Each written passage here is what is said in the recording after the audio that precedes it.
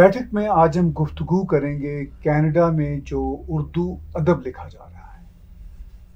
अब यहाँ पर भी बैठकें होती हैं और आज की ग्लोबल विलेज वाली इस दुनिया में हम आपस में बैठ के ना सिर्फ़ अदब लिख रहे हैं, बल्कि जो अदब दुनिया भर में लिखा जा रहा है, भले से वो उर्दू का अदब हो या इंटरनेशनल लिटरेचर हो, उसको भी हम अपनी बैठक की महफलों में एक दूसरे के साथ शेयर करते रहते हैं, महसूस करते रहते हैं और उस अदब में एक दूसरे के साथ हम जी रहे होते हैं।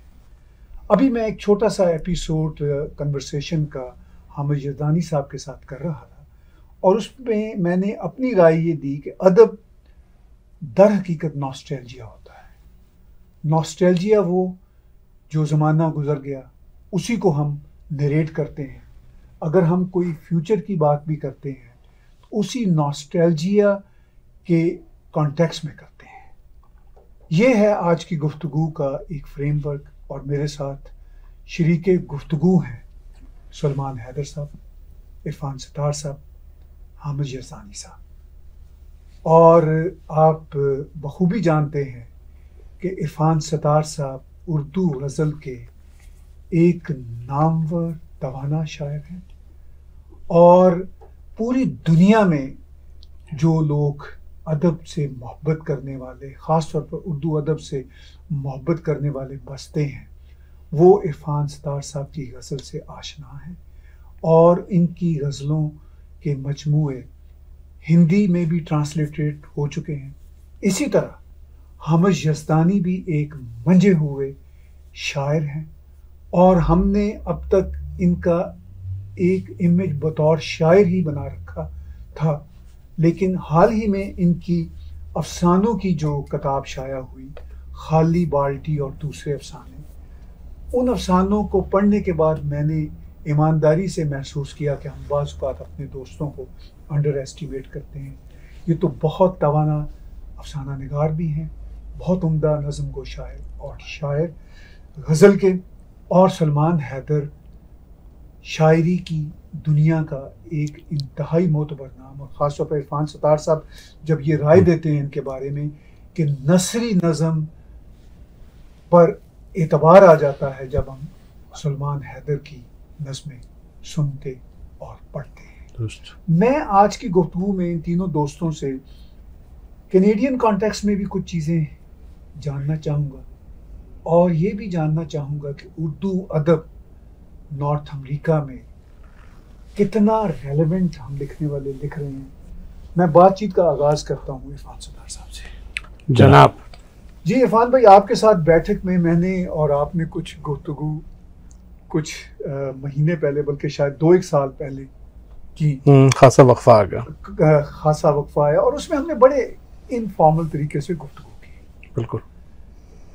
आज मैं आपसे इस हवाले से जानना चाहता हूँ कि जो गज़ल आप लिख रहे हैं ख़ास तौर पर जब से आप कनाडा में मुकीम हैं तो आपको उसमें कैनेडियन जो जो फ्लेवर है, वो खुद कितना महसूस होता है? या उसकी कोई ज़रूरत भी है या नहीं ज़रूरत? इन हवालों से अपनी राय का इजहार कीजिए। जी ताहिर साहब अदब का जहाँ तक मामला है, मेरा पॉइंट ऑफ़ व्यू हमेशा से बड़ा क्लियर रहा है कि मैं अदब में ना मकसदियत का कायल हूँ, ना अदब में किसी एजेंडे पे अमल करने का कायल हूँ, ना कोई प्री डिटर्मेंट पाथ अपने लिए चुन के उस पर चलने की कोशिश करने का कायल हूँ। मेरे नज़दीक अदब या तो अच्छा होता है या अच्छा नहीं होता। अच्छा अदब जब हम कहते हैं तो उसने रेलिवेंट होना है। क्योंकि अगर वो रेलिवेंट नहीं है तो वो वैसे ही अच्छा अदब नहीं है क्योंकि अच्छा अदब अपने माशरे का अक्काज भी होता है अपने तख्लीकार का एक्सप्रेशन भी होता है और अपने वक्त के साथ जुड़ा हुआ भी होता है। कनाडा की जब हम बात करते हैं तो एक तो अब वो जो एक फासले थे वो अब ख़त्म हो चुके हैं। आप कनाडा में बैठ के गज़ल कहें तब भी आप उसी तरह कराची लाहौर या दिल्ली से जुड़े हुए होते हैं। आप नसर लिख रहे हैं तब भी ऐसा ही होता है। मसला उस वक्त होता है कि मैं अगर कनाडा में रहता हूँ तो ये ज़रूरी नहीं है कि कनाडा के रंग या कनाडा की खुशबू मेरी शायरी में झलके। कनाडा के तजर्बात उसमें आएँगे। यहाँ की तन्हाई आएगी, यहाँ का अकेलापन आएगा, यहाँ एक बुनियादी धारे से कटने का गम आएगा, अपने माशरे से दूर रहने का गम होगा और वो हमेशा अंडरटोन्स होंगी, क्योंकि चीखना चिल्लाना तो शायरी का वस वैसे ही नहीं होता। तो मैं ये समझता हूँ कि जो भी जैनविन तख्लीकार हैं कनाडा में, उसकी शायरी का अगर हम मुताल करेंगे फ़िक्शन का मामला थोड़ा सा अलग होता है, क्योंकि फ़िक्शन में ज़ाहिर है आप उस माशरे के बारे में लिख रहे होते हैं तो उसमें बहुत ज़्यादा आसान होता है रेलिवेंस क्रिएट करना और उसका रिफ्लेक्शन देना जिस सोसाइटी में आप रह रहे हैं। शायरी का मामला मुख्तलिफ़ है, क्योंकि शायरी में तो फिर तशबीहात आपकी उस तरह की क्रिएट होती हैं, अलामत होती हैं इस्तारे होते हैं। मजमू दुख इंसान का वही रहता है और बड़ी शायरी, अच्छी शायरी हमेशा वही होती है जो ज़मान मकान के कैनवस को या उनके यूथ को क्रॉस कर जाती है। तो एक बच्चा अगर आगरा में बैठा हुआ मेरी गज़ल पढ़ रहा है तो वो भी उससे रिलेट करे, लाहौर वाला भी करे और यहाँ जो है वो भी करे। तो मैं ये समझता हूँ कि कनाडा में जो कुछ भी इस वक्त लिखा जा रहा है, उसमें जो लोग जैनमन लिखने वाले हैं कोई फ़र्क ना पड़ता अगर नसीम सैयद पाकिस्तान में होती उनकी तख्लीकी सलाहियत पे या उनकी प्रोडक्टिविटी पे। हाँ वो एब ओरिजिनल नज़मों के तराजिम ना करती क्योंकि उसकी रेलिवेंस यहीं पे मिली है उन्हें ठीक है ना? तो उस तरह के तो फैक्टर्स आएँगे मगर मजमू तौर पे अदब या तो अच्छा है या अच्छा नहीं है। और कनाडा में मैं समझता हूँ कि दो नस्लें जो इस वक्त मौजूद हैं एक वो हैं जिनकी बुनियादी तरबियत बड़े मराकज़ में हो चुकी थी। मसलन आपने भी हामिद जजानी साहब का ज़िक्र किया तो हामिद जजानी साहब अपनी पूरी बुनियादी तरबियत लाहौर से लेकर आए थे। तो वो ज़ाहिर है उस सारे मामले से उस सारे मंजरनामे से वाकिफ़ थे और बुनियाद वहाँ से पड़ चुकी थी जिसको ज़ाहिर है कि वो हिजरत के बाद और उसको वो मांझते रहे और चमकाते रहे और आज वो एक बहुत मोतबर नाम है हमारे यहाँ। अशफाक हुसैन साहब हैं यहाँ पे जो काम कर रहे हैं नसीम सैयद हैं शाहिदा हसन अभी आई हैं। मसला जो है वो हमारे बाद की नस्ल का है। क्योंकि उनको उस तरह के तरबियती मौाक़े नहीं मैसर तो उस पर गुफ्तु ज़रूर होनी चाहिए जो आगे किसी सवाल में हम इसको कवर करेंगे कि जो लोग हमारे बाद लिखना शुरू हुए हैं जिनको वो सहूलतें मैसर नहीं हैं जो हमें लाहौर या कराची में मैसर थी उसके लिए किस तरह का यहाँ पे मंजरनामा तरतीब दिया जाए कि इसको हम आगे बढ़ा सकें इस रोशनी को और ये एक जगह जाके साकित ना हो जाए मामला? बड़ी अहम बातें की साहब आपने। हामिद भाई आप इरफान भाई की जो मुदल बातें हैं और तख्लीकी बातें हैं, इनको कैसे देखते हैं और कैसे बातचीत को गुफ्तु को आगे लेकर जाना चाहेंगे? बहुत बुनियादी बातें इरफान सत्तार साहब ने की और मैं सभी से मुतफ़ हूँ, बिल्कुल। और जिस तरह से इन्होंने उसका तजिया किया है और मैं समझता हूँ, बहुत जामे जामे अंदाज में इन्होंने बता दिया।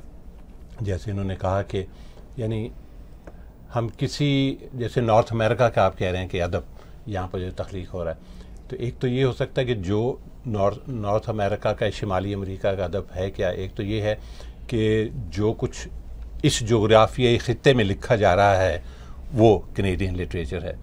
और दूसरा, जैसे आपने कहा कि क्या उसमें शिमाली अमेरिका की खुशबू भी है? यानी कि कोई कंटेंट भी ऐसा आ रहा है? तो इरफान सत्तार साहब ने बड़ी खूबसूरती से उन दोनों निकात को मिला के हमारे और नाजरन के सामने पेश कर दिया कर दिया कि वो खुशबू जो है एहसास की तरह वो आएगी उसमें, लेकिन गज़ल हम चूँकि उर्दू में कह रहे हैं यही मीडियम इस्तेमाल कर रहे हैं तो ज़ुबान और बयान और आहंग, ये ये तो उसमें वही रहेगा। अगरचे ज़ुबान तो चूँकि हर कुछ वक्त वक्त के बाद कुछ ना कुछ तब्दीलियाँ ले, आती हैं, उसमें कुछ करवट लेती है, और वो पाकिस्तान और भारत में भी कि उसी तरह से तब्दील हो रही है। और एक बात में मेरे जहन में ये आती है, और इरफान सत्तार भाई कुछ मेरी शायद रहनुमाई कर सकें, कि बाज़ अहबाब हमारे मुल्क से बाहर रहने वाले, बाज़ अल्फाज जो नए हैं, जैसे टेक्नोलॉजी से मुतलिक भी हैं तो उनको ला इराद इरादतन यानी उसमें ला के तो कोशिश कर रहे हैं कि इसको गज़ल को जदीद बनाया जाए कि ईमेल है टेक्स्ट का लफ्ज़ आ जाए उसमें है ना?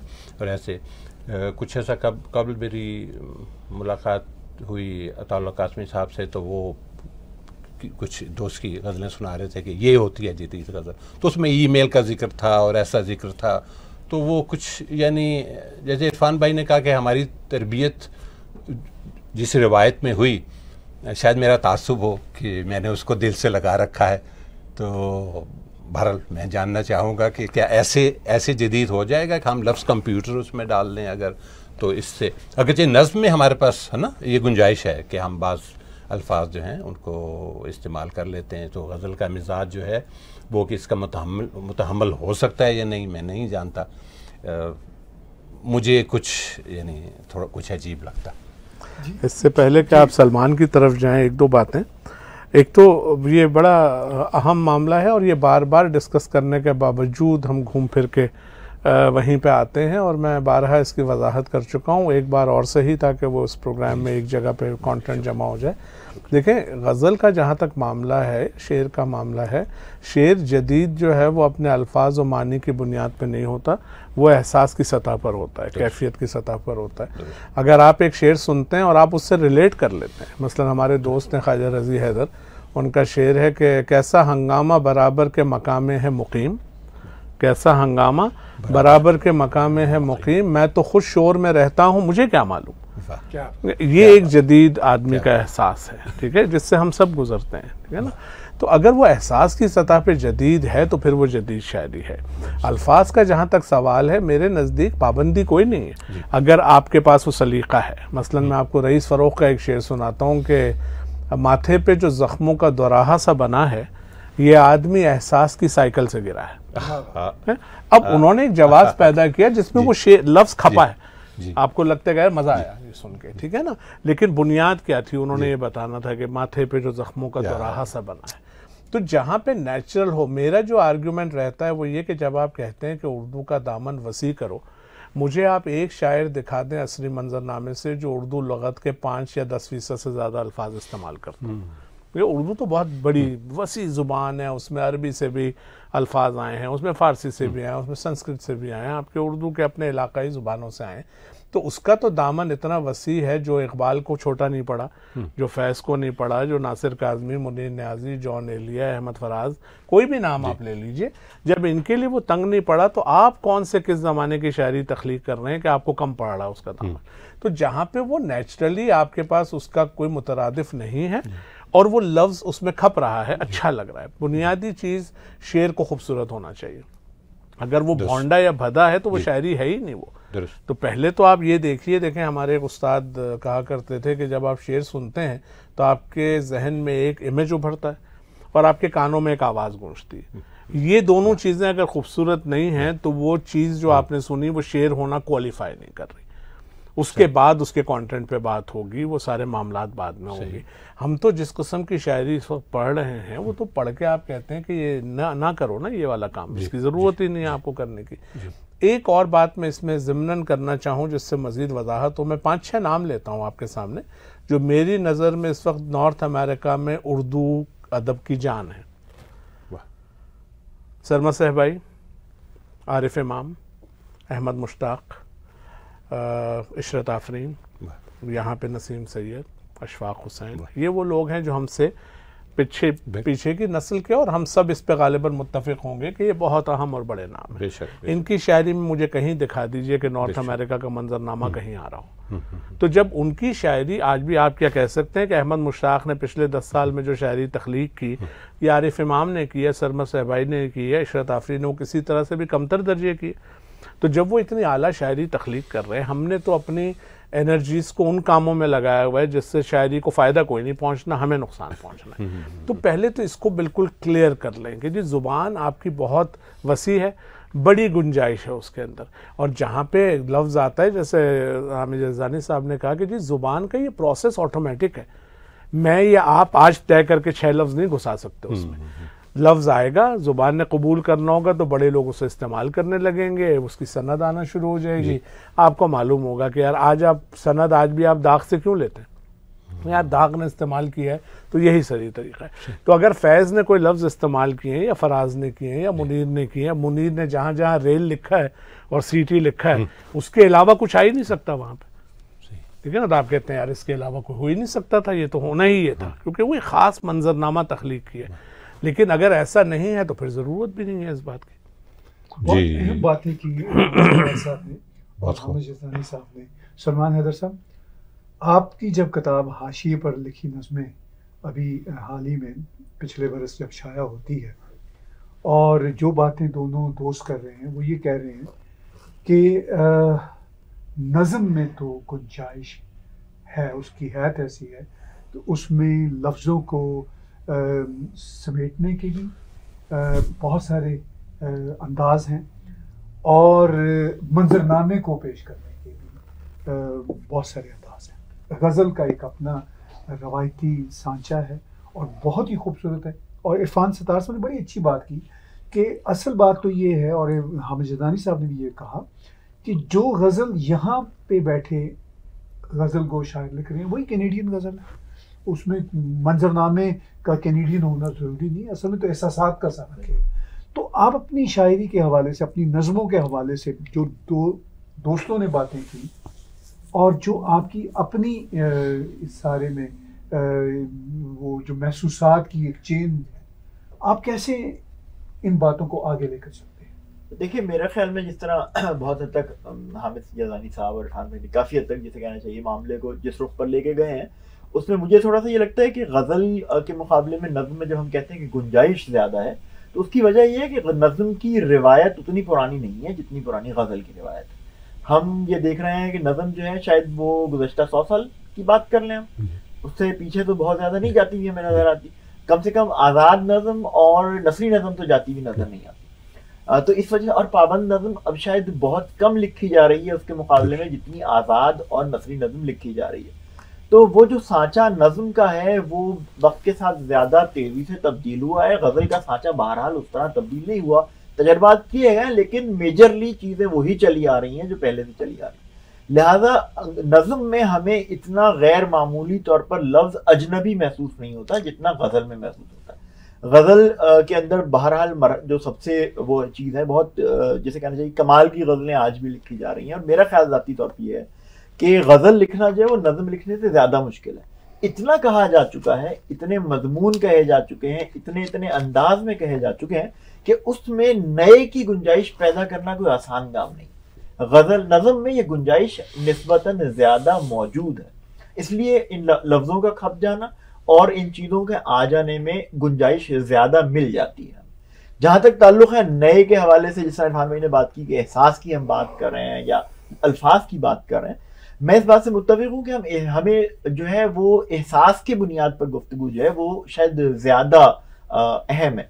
क्योंकि अगर हम जिसे कहना चाहिए हम जो देखते हैं इंडस्ट्रियलाइजेशन के बाद की फ़र्द की अगर हम जहनी कैफियत को देखते हैं तो जो आइसोलेशन की फीलिंग उस फर्द के पास है, या वो आइसोलेशन की फीलिंग जो एक मेरा जाती राय है कि जो इस माशरे में कैनेडियन माशरे में रहने वाला जिस पर, जिस तरह आइसोलेटेड महसूस कर सकता है, शायद हमारा माशरा उतना सनती या उतना सेपरेटेड एक दूसरे से उस तरह नहीं है कि शायद पाकिस्तान में रहने वाला फर्द उस तरह आइसोलेशन को महसूस कर सके।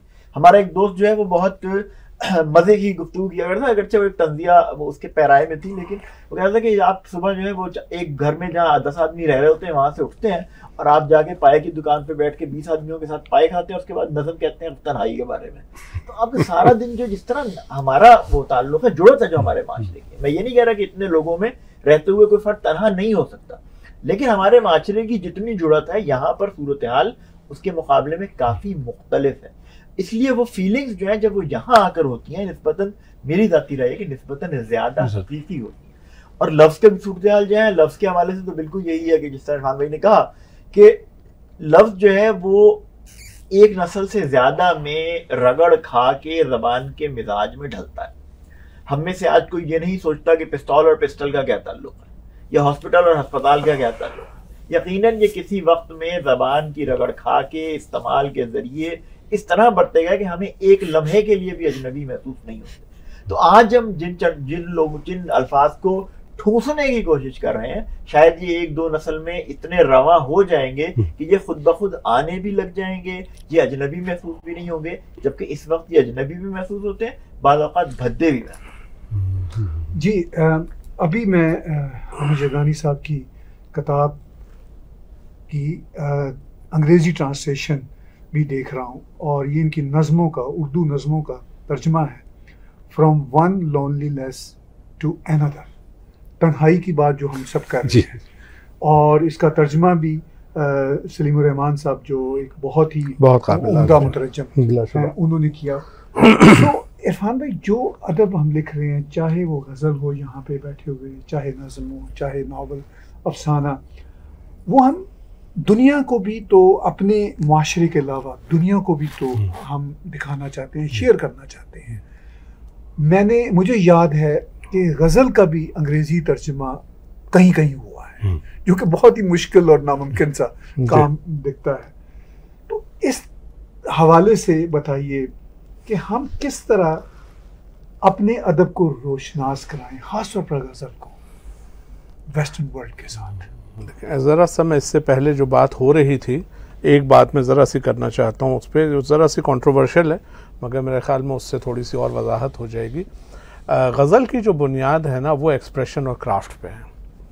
आप कमज़ोर ख्याल के होते हुए भी अच्छा शेर तख्लीक कर सकते हैं। नज़म की बुनियाद जो है, वो कंटेंट और मौजू है। ठीक है? अगर क्राफ्ट बहुत मज़बूत नहीं भी है, लेकिन मौजू बहुत अहम है, और उसका मंजरनामा जो तरतीब दिया गया, उसमें एक तस्वीर बन रही है तो नज़म अच्छे मौजू के साथ हल्के क्राफ्ट के बुनियाद पे भी खड़ी हो जाएगी। अब यहाँ पे जब बात आती है ना तो इस वजह से नज़म में चाहे आप अंग्रेज़ी के अल्फाज, पंजाबी के अल्फाज कोई लाते हैं, वो उसमें खप जाते हैं। गज़ल की बुनियाद जो है वो एक्सप्रेशन और क्राफ्ट है। उसकी खूबसूरती गनाइत उसका एक नफासत, वो उसका एक बुनियाद है जिसके बगैर सर्वाइवल मुश्किल है। तो इस वजह से भी इन दोनों को अलग अलग करके हम देखेंगे तो आसानी हो जाएगी। अब आते हैं इस सवाल पे जो आपने किया, यहाँ पे फिर एक थोड़ी सी कंट्रोवर्सी है। बहुत अच्छी बात है अंग्रेज़ी में तराजिम हों लोगों तक पहुँचे। मेरा मसला ये है कि मेरे जो 20-30 करोड़ लोग हैं वो मुझे नहीं पढ़ रहे। वो मुझसे नहीं जुड़े हुए। ठीक है ना? मेरी किताब जब छपती है पाकिस्तान में तो 500 कॉपियाँ छापता है पब्लिशर।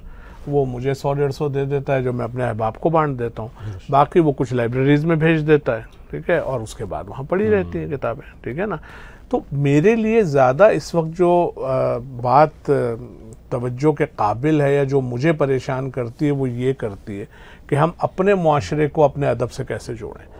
वो तो बहुत अच्छी बात है। देखें वर्ल्ड लिटरेचर में एक तो मुझे ये बताइए कि गज़ल की अगर हम बात करें गज़ल के जो अपने मामलात हैं वो कोई और ज़ुबान का आदमी इंजॉय कर ही नहीं सकता। हम्म। ना उसको वो अलामत समझ आएँगी ना उनको वो तशबीहात समझ आएँगी ना उनको उसका कोई बैकग्राउंड पता है ना उसको करबला की रिवायत पता है ना उसके नज़र में खैमा कोई अहमियत रखता है ना चिराग की कोई अहमियत है। वो बनता ही नहीं है मामला और वो जो पढ़ेगा उसको मसलन मैं रसा साहब के शेर की मिसाल देता हूँ कि वो पहरों आईना क्यों देखता है मगर ये बात मैं क्यों सोचता हूँ? तर्जुमा करें इसका मज़े का खेस चीज़ निकलती। ठीक है ना कि क्या बताएँगे आप उसमें कि जी शायर कह रहा है कि मैं पहरों आईना क्यों देखता हूँ इस बात में मैं परेशान हूँ।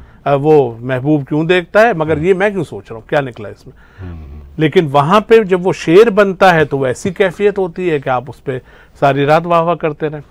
मेरे ख्याल में यहाँ पे भी उर्दू फिक्शन को यकीनन इंटरनेशनल लैंग्वेजेस में ट्रांसलेट होना चाहिए, क्योंकि हमारे पास बहुत आला पाए का फिक्शन लिखा गया।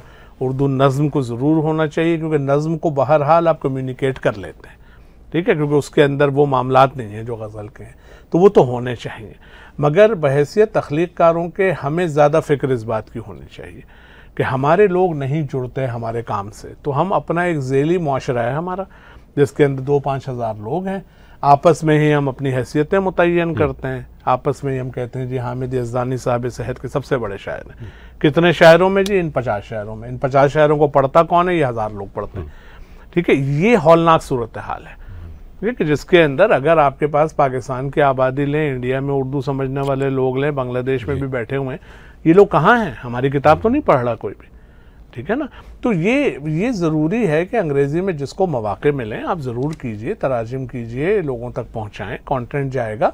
मगर आपको ज़रूरत नहीं है। आपके पास अपना इतना बड़ा एक पॉपुलेशन का एक अंबार है कि उन तक आप किसी तरह कम्युनिकेट कर सकें। उन लोगों में देखें, हमारे बचपन में स्कूल से इंटरेस्ट क्रिएट हो जाता था। डेक्लेमेशन कॉन्टेस्ट होते थे, बैतबाजी, तकरीरी मुकाबले, सब कुछ चल रहा होता था, हर हर क्लास में हो रहा होता था और ये एक नॉर्म था। ठीक है ना? फिर सालाना जलसे हो रहे हैं, उसमें सारे मामला अब तो ये सब ख़त्म हो चुका है। अब तो वो ए लेवल्स करने वाले बच्चे का कोई ताल्लुक नहीं है उर्दू से और माँ बाप भी उसको डिस्करेज करते हैं कि उर्दू मत बोलो। अंग्रेज़ी आनी चाहिए। ये वाला जो मामला है, इसके लिए हम क्या कर रहे हैं? यहाँ जो नस्ल हमारी पूरी तरबियत पा रही है मेरे बच्चे जब पाकिस्तान से आए थे तो उनकी उम्र छः साल और दस साल थी वो वहाँ उर्दू बोलते हुए आए थे। तो वो आज भी घर में उर्दू बोल रहे हैं। मगर यहाँ जो बच्चे पैदा हो रहे हैं वो तो उर्दू नहीं बोल रहे हैं ना वो समझते हैं। तो अब ये आइंदा की एक पूरी नस्ल आप ये देखिए कि जो आपके यूरोप मिडल ईस्ट और नॉर्थ अमेरिका में लोग रहते हैं उनकी तादाद लाखों में है ना। तो उनकी जो अगली नस्ल है वो तो उर्दू से बिल्कुल ही नाबलद है। तो हम उसके लिए क्या कर रहे हैं? हम यहाँ पे भी अब समर वेकेशन आ रही हैं। कभी हमने सोचा कि यहाँ पे जो पाकिस्तानी इंडियन फैमिलीज़ हैं, इनके बच्चों के लिए कोई उर्दू की वर्कशॉप्स की जाएँ पढ़े लिखे लोग हमारे यहाँ मौजूद हैं, उनमें बहुत से टीचर्स भी हैं। ठीक है ना? उस पर तो हम करते नहीं है गौर। तो अब सवाल ये पैदा होता है कि मेरी किताब का अंग्रेज़ी तर्जुमा हुआ और वो आठ लोगों ने पढ़ भी लिया तो क्या फ़र्क पड़ना उससे? लेकिन मेरी आइंदा नस्ल अगर शेर से जुड़ी जाती है, अदब से जुड़ी जाती है तो मेरी जो बका है, वो तो उसमें पोशीदा है। है ना? उसके ऊपर हमें ज़्यादा गौर करने की ज़रूरत है। बड़ी अहम आप बात कर रहे हैं और बार बार कर रहे हैं कि किस तरह हम नई नस्ल को अपने अदब के साथ जोड़ सकते हैं। आपने बड़ा अहम नुकता उठाया कि जब आपकी किताब या मेरी किताब या हम सब की किताबें दो चार हज़ार लोगों तक मैक्सिमम तो वो जो हमारी 22-23 करोड़ की आबादी पाकिस्तान से, जिसका तल्लक है। और मैं कहूँगा कि भारत 1.4 बिलियन लोगों का देश यहाँ पे अदब को समझा जाता है चाहे उर्दू हो, चाहे हिंदी हो। लेकिन इरफान भाई, इसके बावजूद भले से आपकी किताबें चार पाँच हज़ार छपी हों, मगर मैं आप ही के हवाले से ख़ास तौर पर कहता हूँ कि टोरंटो में अदब से शरफ रखने वाले कई हज़ार लोग वो आपके नाम को जानते हैं। हम्म। पाकिस्तान में यूनिवर्सिटियों के बच्चे बच्चियाँ जो बरह रास्त अदब के तालब इल्म भी शायद ना हो मगर वो यूनिवर्सिटियों के तालब इल्म में वो भी आपके नाम से आशना है। मैं भारत जाता हूँ तो हर जगह पे आपके नाम का चर्चा होता है। तो क्या आप किताबों के अलावा भी लोगों तक पहुँच रहे हैं? कुछ आपका यूट्यूब पे कलाम मौजूद नाम पहुँच रहा है ताहिर साहब। अच्छा। जो है नाम पहुँचता है। देखें लोग जो है ना वो अब मैं कहीं जाता हूँ मुझे हाँ जी वो यूट्यूब पे आपका वीडियो देखा था। उससे वो मेरा कार्य नहीं बन गया। ठीक है ना? हमारे पास मसला ये है कि जी संजीदा पढ़ने वाले आजकल चूँकि सोशल मीडिया का ज़माना है तो अब वो दस पंद्रह हज़ार मुझे फेसबुक पे फॉलो करते होंगे उनको नाम पता है। उन्होंने दो चार गज़लें भी पढ़ ली होंगी। यूट्यूब पे कभी सर्च करते हुए मैं आ गया उन्होंने एक आध गज़ल सुन ली।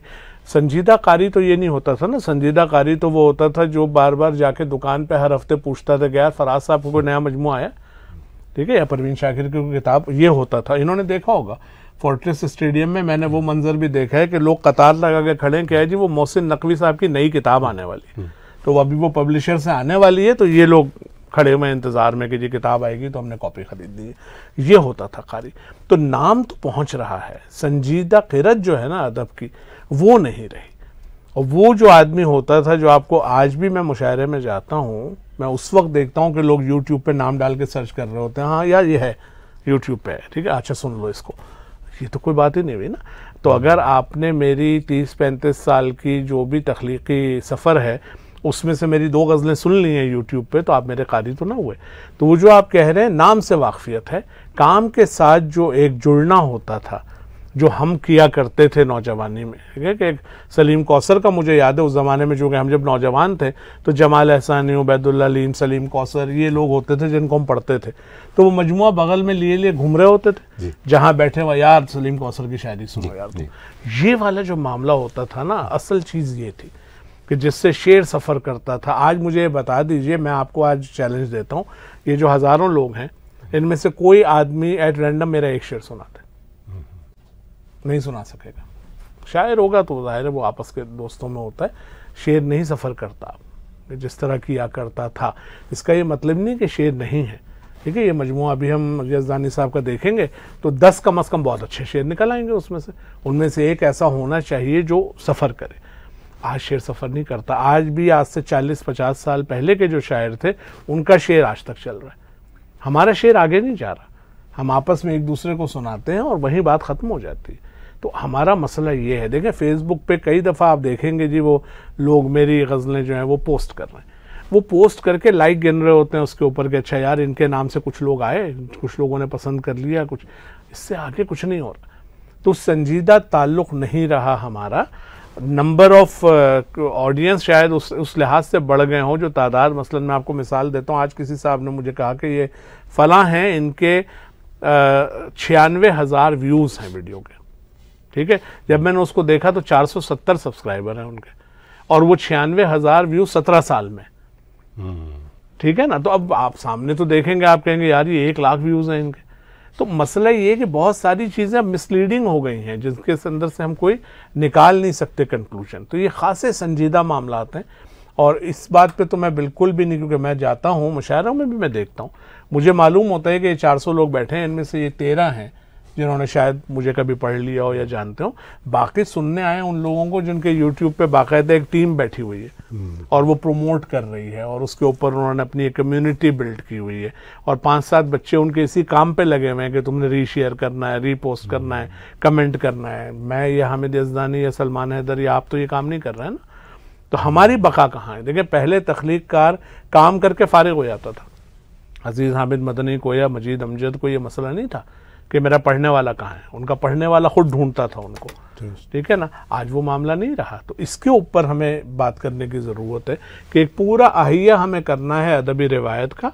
आज के एतबार से सोशल मीडिया भी यूज़ करें आप मॉडर्न मीडिया भी यूज़ करें मगर लोगों से जुड़ना ज़रूरी है। और जुड़ने के लिए सबसे पहले तो उनको इस इस सवाल का जवाब चाहिए कि क्यों? तो मेरा क्या फ़ायदा है भाई? मैं एक घंटा लगा के किताब पढ़ूँ मुझे क्या फ़ायदा मिलेगा? फ़ायदा नहीं है इसमें। यही उनको समझाना है कि इसमें जो मज़ा है ना, उस मज़े की सारी कीमत है। कि जब आप अच्छी तख्लीक, जो आर्ट की कोई भी फॉर्म होती है, वो आपको जो सरशारी देती है ना, वही कमाई है सारी। उससे लुत्फ लेना हमने छोड़ दिया। अब तो हम शेर के मतलब पे जाते हैं और उसके ऊपर तय कर लेते हैं कि अच्छा शेर है, बुरा शेर है। शेर का मतलब मतलब तो कोई होता ही नहीं था, ये तो सब सानवी बातें थी। कहा कैसे गया है? असल चीज़ ये होती थी। और आज ये हम भूल गए कि क्या नहीं कहना। आज हम शेर में जो जो बातें कह रहे हैं वो तो हमारे उस्ताद तो थप्पड़ मारते हैं हमें कि लिख क्या रहे हो तुम? कि आज एक भीड़ चाल मची हुई है। जो चीज़ भी आप मौजू कर लें और उसमें कोई एक नया लफ्ज़ डाल दें तो आप कहते हैं जी मैंने जदीद शायरी कर ली। ठीक है अब मसला ये है कि ये गुफ्तु मैं आप बैठते रहे पहले भी हम करते रहे ये बातें। बाकी मैं जब भी कोई इंटरव्यू आता है मैं कोशिश करता हूँ कुछ ना कुछ मैं गुफ्तु नहीं सुनता कहीं भी। इस तरह की कि किसी को कोई परेशानी है इस मामले ठीक है अपनी किताब प्रोमोट करनी है अगले मुशायरे की बात करनी है क्रिटिसाइज करना है उन लोगों पे जिनके आप पाँव की जूती के बराबर भी नहीं है। आप खुद हम्म। क्या कर रहे हैं यार? ठीक है ना? तो वो कॉन्ट्रीब्यूशन हम में से कोई करने को तैयार नहीं है। बड़ी अहम बातें की इरफान सतार साहब ने हामिद भाई और ख़ास तौर पर वो बात कि किस तरह कारी खुद से आए और हमें दरियाफ्त करे लिखने वालों। और उसके साथ साथ जो रेलेवेंसी अगली नस्ल में बनानी है वो सिर्फ़ कनाडा में ही मुझे मुश्किल नहीं दिखती। अब हम इंटरनेट के ज़माने में जी रहे हैं हमें वो दिक्कत भारत और पाकिस्तान में भी नज़र आती है। इन दोनों जो चैलेंजेस हैं इनको कैसे आप देखते हैं? दोनों बहुत बड़े अहम सवाल हैं जो आपने उठाए पाँच सतार इसका कोई फौरी हल या जवाब है नहीं बिल्कुल। सामने। कोई क्विक फिक्स होता ना जैसे कि हम कहें कि वो कर। बिल्कुल नहीं है। एक शायद प्रोसेस की तरह ही हमें देखना पड़े। जैसे आप एक आपके पास अब ये आप मीडिया में काम कर रहे हैं तो एक संजीदा कोशिश है आप एक डायलॉग ओपन कर रहे हैं इस तरह। हो सकता है ये बात इसी तरह से आगे बढ़े और फिर कुछ और भी यानी हम सफ़र मिलते गए और कारवा बनता गया तो शायद बनती संजीदा कुछ तो इस मैं समझता हूँ कि ये बहुत ये बैठक बहुत अच्छा नुक़ आगाज़ है। और मैं रवायती अंदाज में कहूँ तो मैं इसे बहुत बाबरकत समझता हूँ कि आज इरफान सत्तार साहब यहाँ मौजूद हैं और जैसी फ़िक्र अंगेज़ गुफ्तु हुई है, जैसे इन्होंने फरमाया, सुनने को नहीं मिलती। ये बात बिल्कुल दुरुस्त है, इरफान साहब। कि ये यानी बात जो है चूँकि ये आईना है। हम जब आदमी डरते हैं आईना देखने जब आदमी अपना पर्सनल एजेंडा बैठ लेके गुफ्तु करेगा ना तो वो तो इस तरफ़ जाएगा ही नहीं ना। उसके अपने मामला हो गए यार टीवी कैमरा मिला है तो मैं अपनी बात कर लूँ ठीक है ना? यहाँ पे तो मसला ये है कि अगर कोई अदब का कारी नहीं रहा तो फिर मैं क्या मेरी शायरी क्या? वो हाँ। तो किसी काम की नहीं है ना। मेरा मैं समझता हूँ इस सारी गुफ्तु को अगर मैं एक जगह पे समेटूँ ना हमारा मसला ये है कि हमने नई नस्ल को अदब की अप्रिसिएशन और उससे लुत्फ लेने का तरीका ही नहीं सिखाया। उन्हें ये पता ही नहीं है कि कितनी मज़े की चीज़ है। ठीक है ना? वो जो एक लुत्फ है ना हमने तो बना लिया इसको बात कहने का ज़रिया। ठीक है? तो हम फलसफा भी उसी में डालते हैं हम नसीहतें भी उसी में करते हैं हम अपने मसाइल भी उसी में लिख रहे होते हैं। मसलन हमारे एक दोस्त कहा करते थे कि वो फलां शायर जो है ना यार वो शायरी ख़त्म हो गई उनको नौकरी मिल गई। तो जब तक नौकरी नहीं थी तो वो मसाइल लिख रहे थे उसमें। ठीक है ना? तो हमारा मसला ये है कि हमने बच्चों को आज से ये बताना है कि यार क्यों शेर सुनो? जी। ठीक है? क्या मज़ा आता है इसके अंदर? ठीक है ना? और इससे वो सवाल जिस दिन आपने ख़त्म कर दिया एरिस्टोटल ने पाँच छः हज़ार साल पहले लिखा था कि जी एक वक्त वो आएगा जब दुनिया में वो वो जो उसने एक वर्ड इस्तेमाल किया था यूटिलिटेरियन एथिक्स कि किसी चीज़ की यूटिलिटी अगर है। तो उसकी अहमियत है वरना नहीं। ठीक है ना? और वो आज वो दौर हम देख रहे हैं। कि हर चीज़ पे सवाल हम ये करते हैं कि इसका फ़ायदा क्या है। ठीक है ना? तो मैं तो आज भी रात को आधा घंटा अगर मीर को पढ़ता हूँ तो उससे जो मुझे फ़ायदा होता है मेरे पास तो कुछ और करने को है ही नहीं। लेकिन वो दूसरा एक और चीज़ है कि अटेंशन स्पैन हम लोग जब पहले जाते किताब लेकर आते थे तो अब रात को खाना वाना खा के अब और कोई काम नहीं है साहब आज ये किताब पढ़ किताब पढ़िए आज के बच्चे के पास तो हमारे पास नहीं है। हम बैठे होते हैं पंद्रह मिनट के दौरान बारह दफ़ा हम फ़ोन उठा के देख रहे होते हैं कि यार कोई चीज़ निकल ना जाए। ठीक है हालाँकि उसमें क्या होना है? कोई क़यामत नहीं आनी मगर हमारी मेंटल पूरी तरबियत ये वाली हो गई है तो बच्चों की भी हो गई है, ठीक है ना? तो बच्चों को उससे निकाल के कैसे लाना कि भाई, आप कुछ लूज नहीं कर रहे, अगर आप एक घंटा फ़ोन नहीं देखेंगे, मगर अगर आप लिटरेचर को अप्रिशिएट नहीं करते तो आप बहुत कुछ लूज कर रहे हैं। ठीक है ना? उस पे काम होना ज़रूरी है। वो आज आप शुरू करेंगे शायद 25 साल लगे। मगर कोई हर्ज नहीं एक सिलसिला शुरू तो हो ना उसके ऊपर काम तो शुरू हो। और आपकी बात बिल्कुल दुरुस्त है कि नॉर्थ अमेरिका का मसला नहीं है। ये पूरी उर्दू दुनिया का मसला है। और हमने खुद किया है ये काम। जब हम अपने निसाब में से निकाल निकाल के अपनी ज़ुबान को एक तरफ़ कर देंगे हम कहते हैं जी उर्दू कौमी ज़ुबान है इससे क्या फ़र्क पड़ा यार? ठीक है ना? आपका बच्चा जो है वो आज तो इस्माइल मेरठी को नहीं जानता जो हम जानते थे। हम तो उन्हीं की नज़में पढ़ पढ़ के बड़े हुए थे। उस ज़माने में जो घरों में आप देखते हैं कि वो नौनहाल और तालीम और तरबियत तो ये हर घर में आया करते थे और वहीं से आपकी तरबियत होती थी। तो उन लोगों ने हमारे माँ बाप ने तो ये सवाल नहीं किया कि यार इसका फ़ायदा क्या है? कहते नहीं नहीं ये तो बहुत ज़रूरी है भाई अदब आना चाहिए आपको। आपकी शख्सियत नहीं बन रही। आज के आप बच्चों को देखें तो वो रोबोट्स हैं।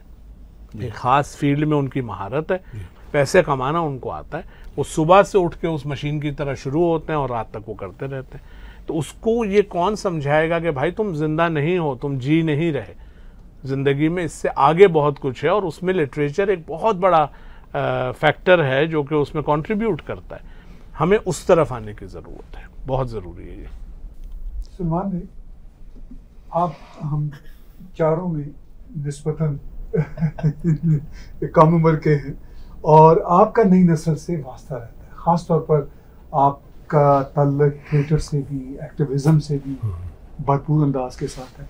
इस वक्त जो हमारी नई नस्ल के नए नौजवान जो हैं ख़ास तौर पर बीस पच्चीस साल के लोग जो आ रहे हैं कनाडा अमेरिका या यूरोप तो उनके जो अदबी मामला या अदब से शगफ के मामला उस हवाले से आपका मुशाह क्या जिससे अभी अ, बात हो रही थी मेरा ख्याल में बहुत हद तक जो है वो एक बहुत अहम चीज़ जो है वो ये है कि जो लोग नई नस्ल से या पुरा बल्कि पुरानी नस्ल से जो हमारी नस्ल है उससे या हमसे बड़ों में से जो लोग कह रहे हैं जो लोग लिख रहे हैं उन्हें और नौजवान को किस कोई हमें कोई ऐसी स्पेस चाहिए जहाँ ये दोनों कनेक्ट कर हो फॉर एग्ज़ाम्पल मैं ये देखता हूँ कि मैं पागे यहाँ मिसागा में ब्रैम्पटन में रहते हुए पाँच सात ऐसे लोगों को जानता हूँ जो रसाई अदब लिख रहे हैं। उनके पास एक स्पेस है जहाँ पर वो पुराने कहने वालों के साथ बैठते हैं वहाँ वो सुनते भी हैं वहाँ वो सुनाते भी हैं और उस स्पेस के अंदर इस, वो और वो इसी स्पेस के अंदर अच्छा उसमें ये है कि जहाँ वो लिख वो रसाई अदब रहे हैं लेकिन उनके सलाम में बीच में मिसरा गज़ल का भी आ जाता है। यानी कि वो मुकम्मल तौर पर हाँ, सिर्फ़ रसाई अदब है बीच में गज़ल का मिसरा आता है। और यहाँ पर क्योंकि जिन लोगों की मैं बात कर रहा हूँ उनमें ज़्यादातर उर्दू स्पीकिंग फैमिली और गज़ल का अच्छा शायर ही अच्छा सलाम लिखता है। बिल्कुल। तो उसमें क्योंकि ज़्यादातर लोग उर्दू स्पीकिंग फैमिली से हैं तो मुझे नस्बता ये लगता है कि मैं जहाँ से इससे पहले पंजाब से आया हूँ वहाँ बहुत ज़्यादा फासला है इन दोनों चीज़ों के बीच। रसाई अदब एक तरफ़ है गज़ल एक तरफ़ है। यहाँ पर मुझे नस्बता ज़्यादा संगम महसूस होता है दोनों का। ज़्यादा मुझे दोनों के मिसरे एक उसमें नज़र आते हैं। जिस तरह हम आरिफ फैमान साहब के कलाम की बात कर रहे थे आरे भाई के कलाम में बहुत दफ़ा मैंने अपने दोस्तों में बैठे हुए बात की कि यार ये जो शेर इन्होंने पढ़ा है ना इस पूरे उसमें से मैं ये एक शेर निकाल दूँ तो ये मैं मुशायरे में पढ़ दूँ। कोई फ़र्क नहीं है। और यही वो जो है ये वहाँ इमाम बारगाह में बैठ के भी पढ़ते हैं। सो हम्म। so, इस स्पेस की तरह लाजमन नहीं कि यही स्पेस रहे इस स्पेस की तरह हमें ऐसी कल्चरल स्पेस बनाने की ज़रूरत है जहाँ पर नौजवान और अब जो कहने वाले हैं वो इकट्ठे हों। शायद बैठक के अगले उसमें वर्जन में यहाँ पर हमारे साथ जिस तरह मैंने बात की हमारे पास जो दो तीन लोग नए कहने वाले हैं वो बैठे हैं इरफान भाई बैठे हैं हामिद साहब बैठे हैं और वो आपस में बात करें। तो शायद एक स्पेस हम यहाँ पे ऐसी बना सकें कि जहाँ पर लोग सवाल उठाएँ कि आपने ये कहा इसमें अच्छी चीज़ क्या थी? इसमें जो मैंने ये कहा इसमें आपको क्या नज़र आता है कि इसमें अच्छा है या बुरा है या गलत है? या इसे कैसे बेहतर किया जा सकता है? शायद हम यहाँ पे तो आधे घंटे का प्रोग्राम करेंगे लेकिन उससे आधे घंटे पहले हम चाय पे भी बैठे होंगे हम्म। और उसके बाद भी आधे घंटे पहले शायद हम चाय पे बैठे होंगे। तो उस स्पेस में जो गुफ्तु होती है उसमें सीखने को काफ़ी कुछ मिलता है। तो रबता ये नहीं एक एक, एक जगह कंबाइंड बन जाए। एक, एक और चीज़ जो हुई है ना इस दौरान पिछले 20-30 सालों में वो एक कंप्लीट ब्रेकडाउन ऑफ़ ट्रस्ट है। कि जो जूनियर्स हैं वो ये कहते हैं यार ये सीनियर्स ये पुराने ज़माने के लोग इनको क्या पता कि आजकल क्या होता है? यार इनसे क्या सीखना है हमने? ठीक है ना? दूसरा चूँकि वो आर्ट फॉर्म के तौर पे से नहीं लेते तो टेक्निक वेक्निक से तो वैसे ही उनका कोई ताल्लुक हम्म। नहीं।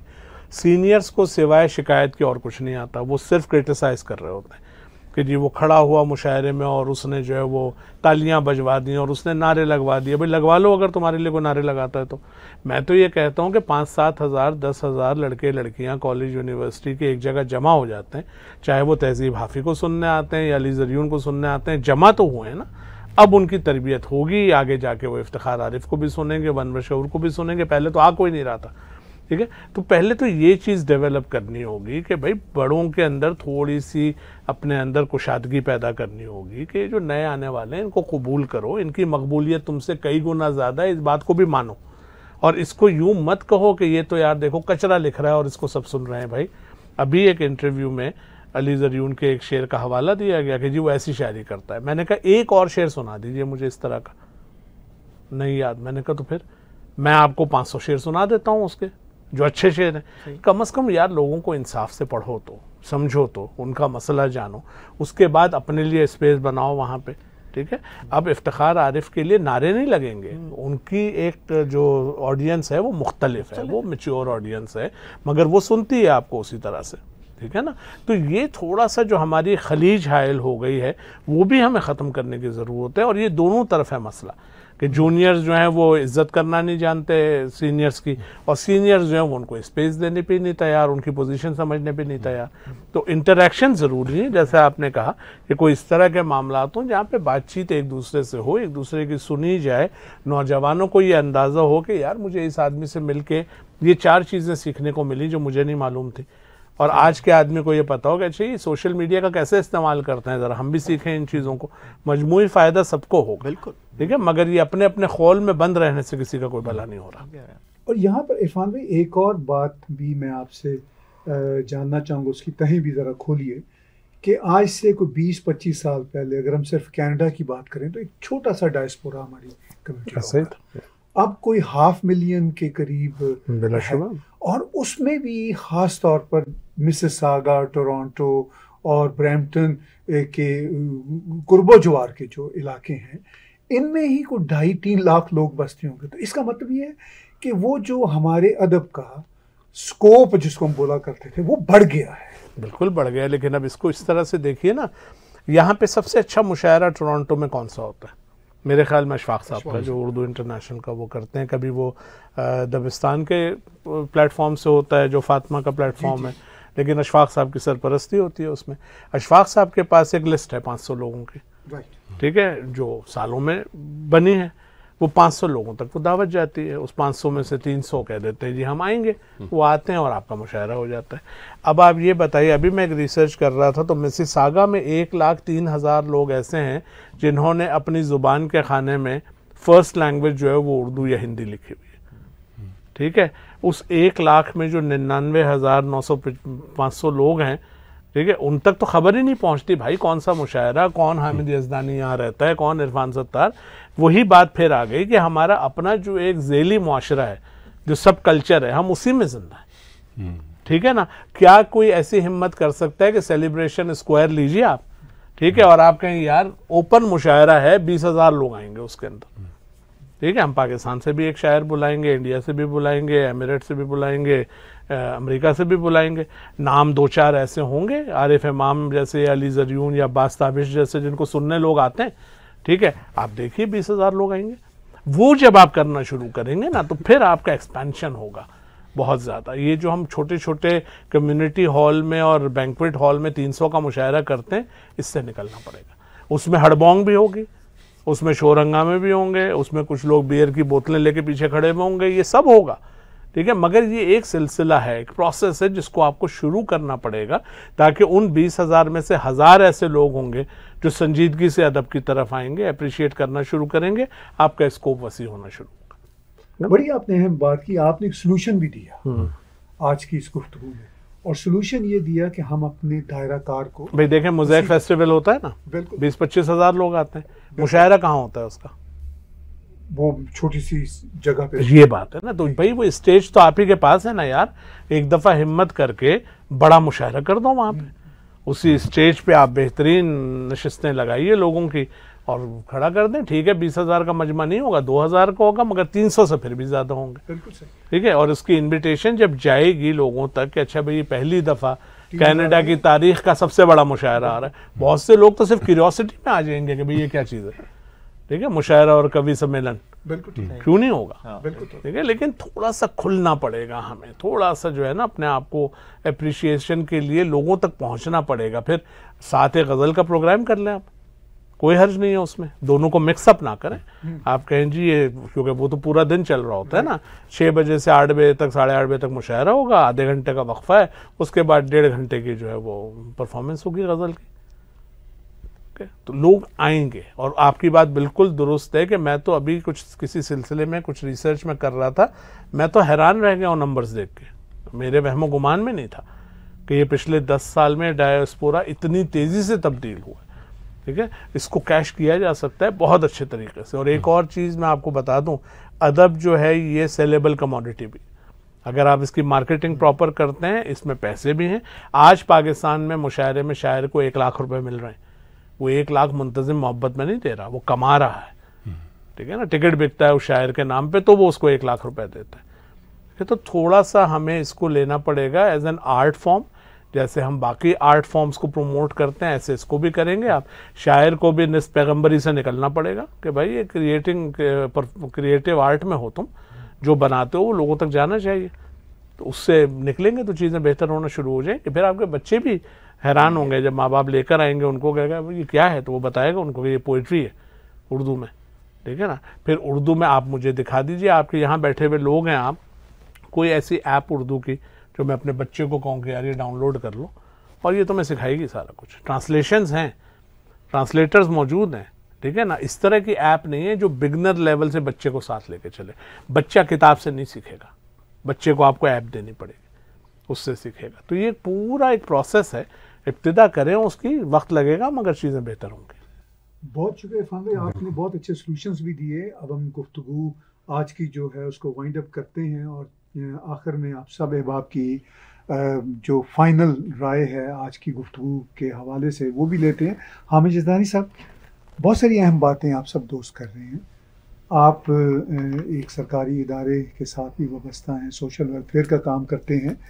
तो जो नंबर हमारे साउथ एशियंस के बढ़ रहे हैं जो greater Toronto area greater Hamilton area में अगर हम Hindi speaking Punjabi speaking Urdu speaking के नंबर अनऑफिशियल देखें तो वो कोई ऑलमोस्ट ओवर टू मिलियन है। इतना बड़ा नंबर है ठीक है? और उसमें जो इरफान भाई कह रहे हैं कि वो टू मिलियन नंबर तो अब हमारे लिए वो एक रास्ता है अपने कल्चर को आगे बढ़ाने का। तो क्या गवर्नमेंट भी आपको कोई थोड़ी बहुत मालूम है सिलसिले में कोई मददगार हो सकती है जो हमारी रीजनल गवर्नमेंट्स हैं म्यूनसिपल गवर्नमेंट्स हैं या प्रोविंशियल गवर्नमेंट हैं? या अगर हम अपने तौर पर इन चीज़ों को आगे लेकर चलें तो हम कितना काम कर सकते हैं खुद से? जहाँ तक टायर भाई सरकारी इदारों से उसका तो उसको एक्सप्लोर किया जा सकता है हम्म। क्योंकि डिफरेंट वेन्यूज़ उसमें होते हैं। कुछ कुछ ग्रांट्स और ऐसी इमदाद इदारों के थ्रू मिलती हैं तो उनके साथ कोलेब्रेशन करके है ना? फंड्स लिए जा सकते हैं ना? तो बाकी काम तो हमारा करने का है बरह रास्त। तो जब इदारे देखते हैं कि भी यहाँ यहाँ पर जो है ना लोग आएँगे आते हैं तो यकीनन वो नॉर्थ अमेरिका की कथ कलामी माफ़ नॉर्थ अमेरिका में अगर आप देखिए तो टोरंटो कुछ हद तक मॉन्ट्रियल न्यूयॉर्क शिकागो ह्यूस्टन ये बड़े मराकज हैं। कोई एक इवेंट बता दें जहाँ ये सब एक जगह जमा हुआ है। नॉर्थ अमेरिका में क्या मसला है? मतलब आप न्यूयॉर्क में एक अपनी उर्दू कॉन्फ्रेंस करें नॉर्थ अमेरिकन उर्दू कॉन्फ्रेंस उसमें टोरंटो का आदमी भी हो मॉन्ट्रियल का ऑटोवा का भी हो और ह्यूस्टन से भी आए सब मिलें। वहाँ तो न्यूयॉर्क में तो तेरह तंजीमें हैं और ह्यूस्टन में आठ हैं। यहाँ पे बड़ी मुश्किल से तोड़ ताड़ के हम दो तीन पे ले आए हैं ठीक है ना चीज़ों को। ये कंसोलिडेशन ज़रूरी है ठीक है आप लोग साथ होंगे प्लेटफॉर्म पे। आप बाकी अपनी कीजिए। हल्का अरबाब ज़ौक न्यूयॉर्क अपना काम करे टोरंटो अपना काम करे मगर साल में एक दफ़ा जमा हो जाओ किसी जगह पे। एक दूसरे के साथ इंटरेक्ट करो एक्सचेंज करो चीज़ों का उसमें फिर बड़ी तादाद में लोगों को लेकर आओ। एक दिन न्यूयॉर्क में करो उसी दिन ऐलान कर दोगे जी अगला जो है वो अगले साल टोरंटो में होगा। आप यकीन कीजिए टोरंटो से लोग न्यूयॉर्क जाएँगे और न्यूयॉर्क के लोग सफ़र करके टोरंटो आएँगे अगर एक अच्छा मुशायरा आपने कर दिया। बहुत अच्छी बात आपने की। और ये वहाँ मिल के ही हाँ, बिल्कुल। होगा अभी मैं चलते चलते बसें चलवाइए यार। न्यूयॉर्क से टोरंटो और टोरंटो से न्यूयॉर्क जो है वो ग्रे हाउंड की बसें चलवाइए लोग उसमें आए देखें कैसे फेस्टिव माहौल बनता है। अभी मैं चलते चलते आखिर में ये खबर भी बताता हूँ। अभी हमने उसको पब्लिक नहीं किया। करने वाले हैं आगे इसी हफ़्ते। Canadian south Asian literary festival के नाम से यहाँ पे हम लोग कर रहे हैं। लेकिन अब मेरा ख्याल है कि उसमें कैनेडियन से ज़्यादा हम साउथ एशियन लिटरेरी फेस्टिवल पर ज़ोर देते हैं। जो इरफान भाई ने बात की इरफान भाई से जो मैंने आइडिया लिया वो ये है कि एक बड़ा मुशाहिदा हम क्यों ना करें इसी 25, 26, 27 अगस्त को जो हम करने जा रहे हैं। इसमें 26 अगस्त की रात को हम कोशिश करें कि तीन चार हज़ार के मजमे का एक मुशायरा हमें ग्राउंड मिला हुआ इस काम के लिए हम उसमें करें। बिल्कुल करें। ठीक है? बिल्कुल। तो मेरा ये ख्याल है कि ये जो कन्वर्सेशन आज हमने की और इसका ना सिर्फ़ हमें फ़ायदा हुआ बल्कि हमारे जो व्यूज़ हैं वो भी ये इनपुट ज़रूर ले रहे होंगे कि भाई जब हम इतने ज़्यादा नंबर्स में हो गए तो हमारी कल्चरल एक्टिविटीज़ भी तो उसी रेशोज़ के साथ जानी चाहिए।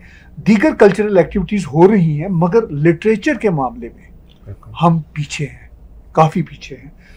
बहुत आखिर में बहुत आखिर में कंक्लूसिव रिमार्क्स आप तीनों की तरफ़ से हाँ साहब पहले मैं समझता हूँ आज की गुफ्तु इंतहाई मुफीद रही हमने जो गुफ्तु की उसमें हमने यानी माजी हाल और मुस्तकबिल तीनों को एक जगह देखा।